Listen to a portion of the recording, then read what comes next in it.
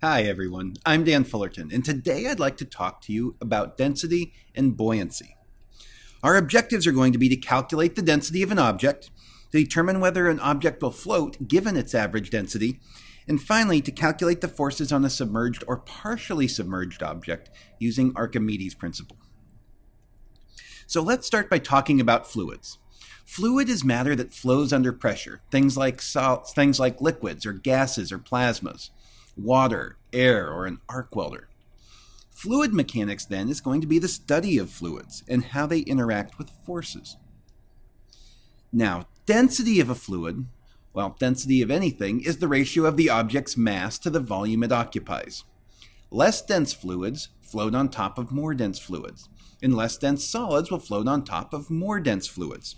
So, density, given the symbol rho, is mass divided by volume.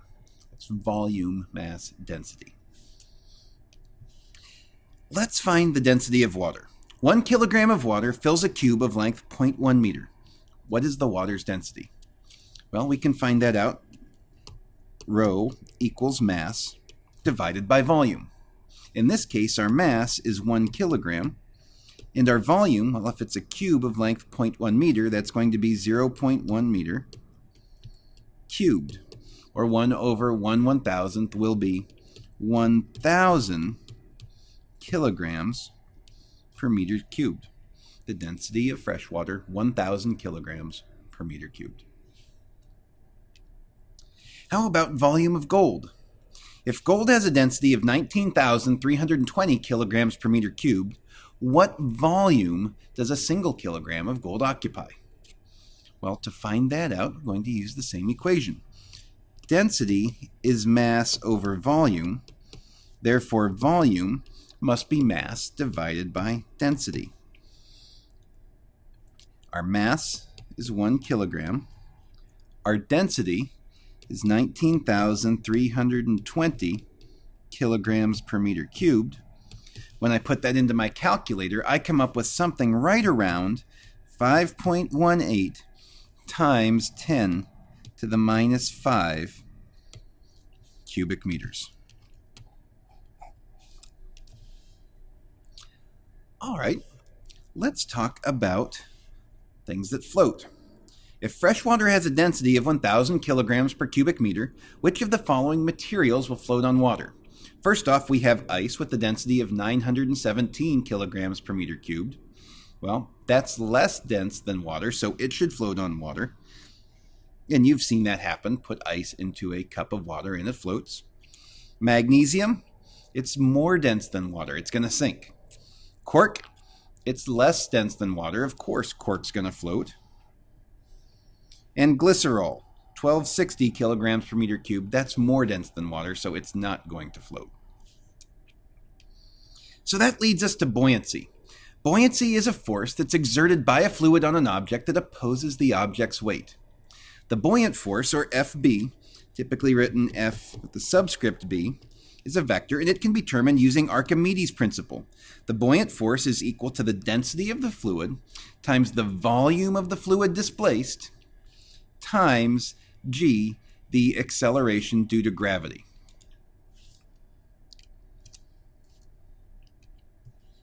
So let's look at a sample problem using the buoyant force. What is the buoyant force on a 0.3 cubic meter box fully submerged in fresh water? It has a density of 1,000 kilograms per meter cubed, you recall. Well, the buoyant force is equal to the density of the fluid times the volume of the fluid displaced times the acceleration due to gravity, which in this case is going to be Density of our fluid, fresh water, 1,000 kilograms per meter cubed. Our volume displaced, if it's fully submerged, must be 0.3 meters cubed. And g, our acceleration due to gravity, let's use 10 meters per second squared as an approximation to 9.8. That gives us 1,000 times 0.3, 300 times 10, 3,000. And it's a force, newtons. 3 thousand newtons. Let's take a look at the Shark Tank problem. A steel cable holds a 120 kilogram shark tank 3 meters below the surface of salt water that has a density of 1,025 kilograms per cubic meter. If the volume of the water displaced by the shark tank is 0.1 cubic meter, what's the tension in the cable? Well, let's start with the free body diagram. Figure out all the forces on our tank. We've got the weight, mg. We have the buoyant force, FB, and we have the tension in the cable, T. Now, if it's just being held there, then the net force, no acceleration, must be zero. So we could write that the net force in the y direction, which is equal to the tension plus the buoyant force minus the weight, must equal zero. And if we're trying to find the tension, we could rearrange to find that tension must equal the weight minus the buoyant force.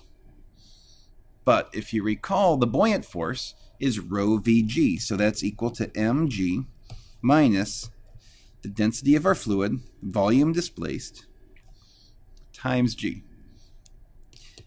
Which implies then that the tension must be equal to, well, our mass, 120 kilograms, times the acceleration due to gravity, we'll round off to about 10, minus the density of the fluid displaced, 1,025 kilograms per meter cubed for salt water, times its volume displaced, 0.1 cubic meter, times g, 10, or 1,200 minus 1025 is just going to be right around 175 newtons.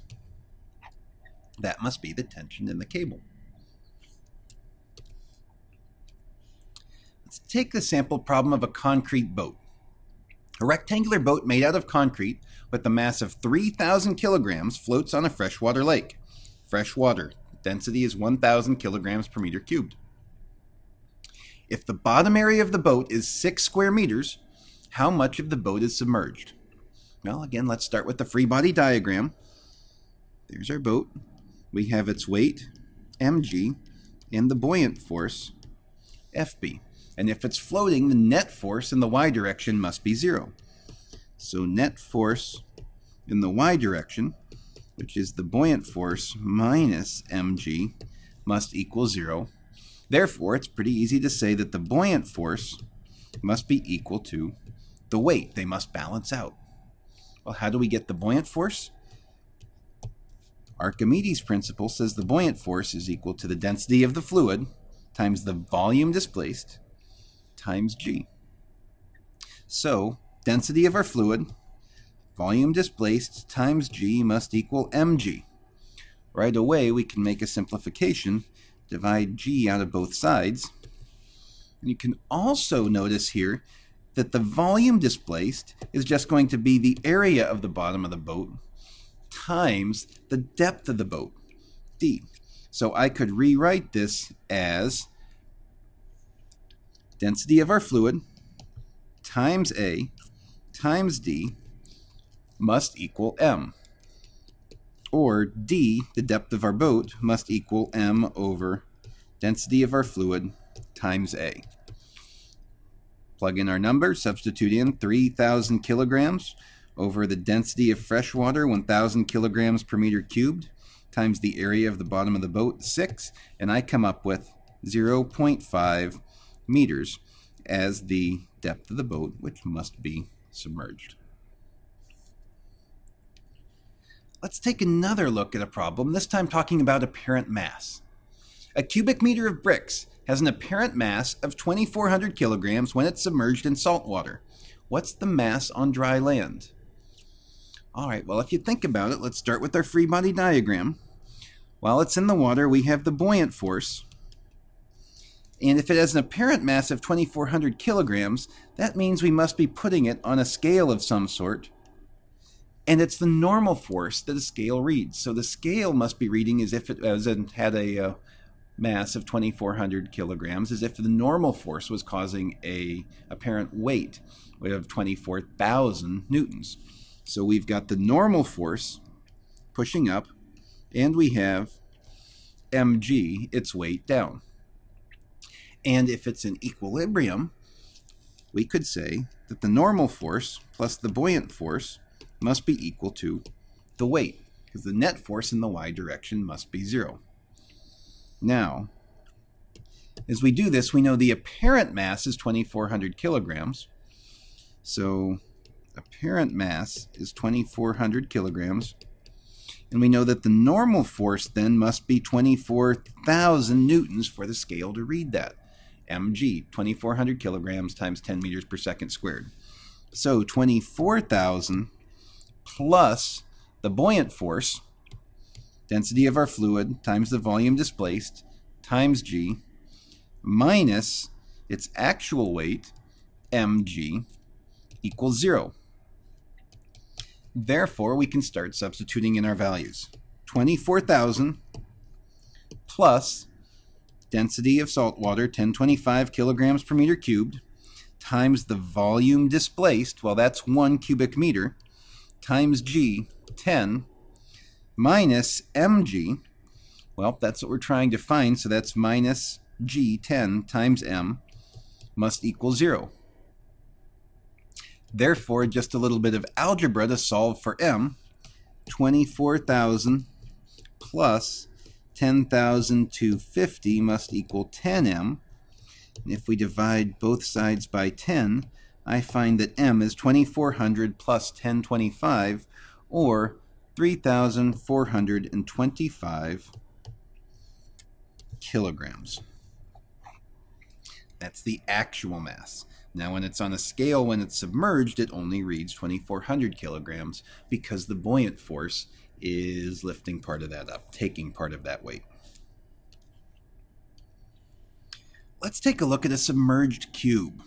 A cube of volume 0.002 cubic meters is submerged in a glass of fresh water and attached to the bottom of the glass by a massless, spring, massless string. So we've got a glass here and inside here we have a cube that's attached to the bottom of all of this by a string. Something like that. If the force of gravity on the cube is 10 newtons, what's the tension in the string? Well, again, let's start with the free body diagram. There's our object. We have the buoyant force up. We have the weight down, and we have the tension pulling down. And because it's just sitting there, it must be in equilibrium. Net force in the y direction must be zero.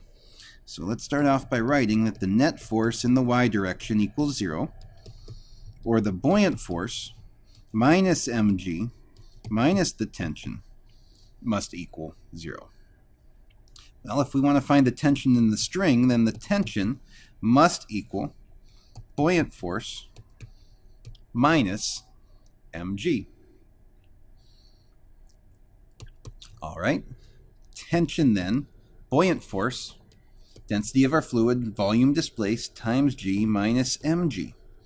Or, we substitute in our values, tension must equal density in fresh water, 1000, times the volume, 0.002 cubic meters, times g, 10 minus mg, and in this case, mg is 10 newtons, the weight.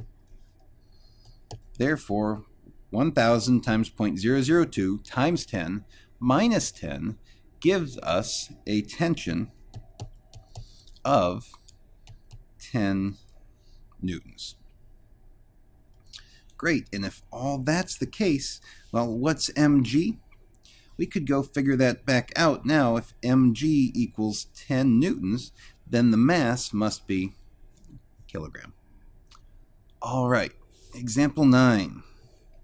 Determining density. The density of an unknown specimen may be determined by hanging the specimen from a scale in air and in water and then comparing the two measurements. If the scale reading in air is F sub A and the scale reading in water is F sub W, develop a formula for the density of the specimen just in terms of the force in air, the scale reading in water, FW, and the density of the fluid. Well, when it's in air, we have mg and we have FA. When it's in water, we have mg, we have the buoyant force FB, and the uh, scale reading in water FW. So from this free body diagram, when it's in water, we know that FB plus FW must equal mg at equilibrium. And since FA equals mg, we could say that FB plus FW must equal FA. But if you recall then, using Archimedes' principle, FB must equal density of our fluid, volume displaced, times the acceleration due to gravity, rho vg. So FA minus FW must equal rho vg. Now, what's that density? Let's think about it. Density of our object is the mass of our object divided by the volume of our object. So the volume of our object must be equal to the mass of our object divided by the density of the object, if I rearrange that. So the mass over the density must be equal to the volume of the object. So I could write then that FA minus FW must equal the density of our fluid from there. Now our volume is going to be mass of our object divided by density of our object times g. Therefore, the density of our object with a little bit of algebraic manipulation must equal the density of our fluid times the mass of our object times g over Fa minus Fw. But the mass of our object times g, well, again, mass of our object times g is just Fa. So I could rewrite this then as the density of our object equals the density of our fluid, mass of object times g, well, that's Fa, divided by Fa minus Fw, or density of our fluid times the ratio Fa over Fa minus Fw. A lot of algebraic manipulation, but now we can find the density of an object using the weight in air compared to the weight in that fluid. Hopefully that gets you a good start on density and buoyancy. If you need more help or looking for more information, check out aplusphysics.com. Thanks and make it a great day.